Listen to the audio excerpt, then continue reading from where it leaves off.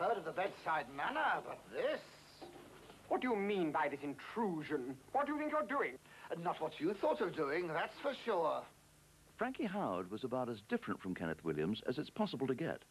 Hard done by, resigned to failure, theatrically seedy, Frankie slouched on to the strains of You Can't Have Everything, in camp contradiction of his actual stardom, making out his dressing room was a broom cupboard and his weekly salary was paid in petty cash. My room room's very small. It's only one room, one room, and there's a budgie and me. But the thing is, what I say goes, that's the main thing. What? What? His mood was ever changing. One moment lustful, the next listless, the tufty eyebrows apparently glued on at random over those small, wild eyes. A unique comic creation, once aptly described as Simple Simon with mumps. Ah, yes, pleasure. Go back to Salisbury. Yes. Oh, what's uh, how is Salisbury? Divine. Absolutely divine. Oh, another camp follower here, I think. I went through a very, very long analysis of Frankie Howerd, based entirely on the idea that he was butch.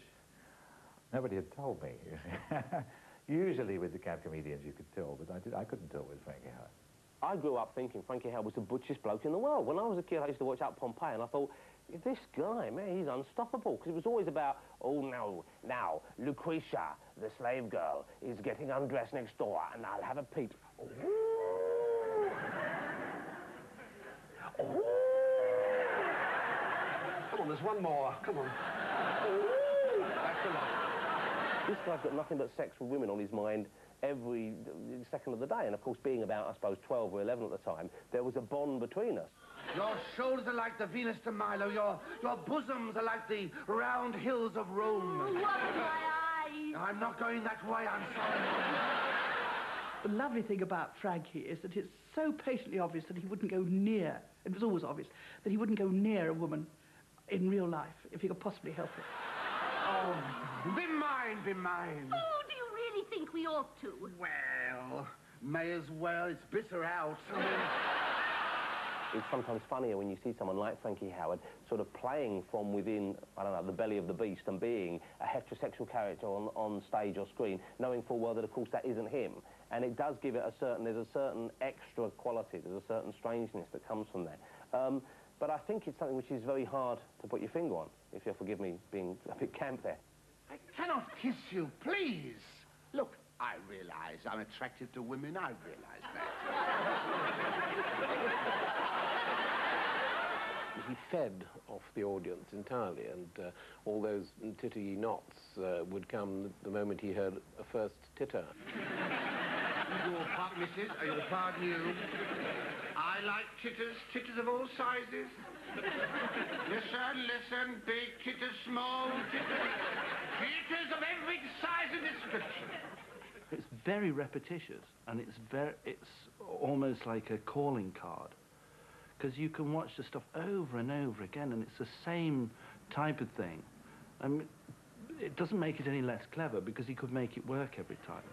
But tonight, ladies and gentlemen, I want to plead for you a favour. Tonight I need your titters. The other clever thing that would be picking out one person. Titters, dear, what do you keep laughing at? Mrs., I wasn't being personal. Don't, but don't look at me. Mrs.? As common as muck, that one there. Join her over here. I told you, it's not one of those shows. This show's about love. Shut up! Shut up! Oh, shut your face, will you? Loosen something, loosen something. Poor soul. Nothing worse than knickers out of focus. Oh, I never forget what it is to be a part of an audience. Oh. And I, I've always sort of been able to, it's a strange thing, but I think in a sort of way, particularly when I'm playing live shows, I've had the ability to be a bit of a split personality because of this. I can put myself in an audience's position. Do you understand? At the same time as perform. And oh, look at her sat there, all co- look at her, all toffee-nosed. She's sat there, look at her, she's going so, oh, no, she's stopping. She's saying, I do hope he's not going to be vulgar. don't worry, missus, I know your type, all fur coat and no knickers, so don't sit there stuffing it up, mate. Frankie was wonderfully gossipy. I mean, that was the other thing you'd feel with Frankie. You could sit down and say the most wonderful things to each other about, oh, her over there. Oh, you could enjoy yourself hugely. We've got some very funny people next door, in the next room to me, very funny people. Well, there was him.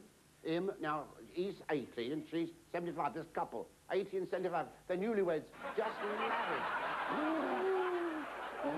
the way, the way they carry on, I can't tell you. I don't know how they do it. Well, I do, because they have, I do. I like Frankie Howerd very much because he always looked like he was on, on the verge of a hugely bad mood. Don't get common, Mrs., please. Don't shut us up here. It goes against everything that you expect of an entertainer. You expect an entertainer to be up and happy we're paying you to be, you know, to jolly us along. And here comes, you know, uh, Frankie Howerd or Larry Grace, and they all did that kind of, oh, I've not been well. But you know, I don't know, I feel, you know, I feel sort of, I, I, I can't, I'm, you know, I'm, got, I'm not in the mood, I'm sort of feel titter-bound. I, I don't, you say, hmm. I don't think Frankie did overtly camp stuff. There was a camp manner about him. It was always hinted at. It was always there in the background, but never fully expressed. Oh, you've arrived on washing day. Oh, dear. Honestly, I do feel smalls. yes, well.